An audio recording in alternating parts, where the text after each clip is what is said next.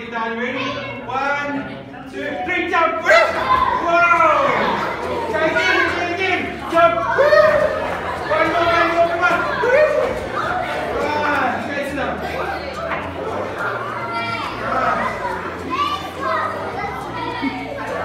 Alright, well done guys. So you can see the young kids really need to go to sleep now. So the five little kids to go to sleep. Guys, what we're gonna do is we're gonna go into our lessons now.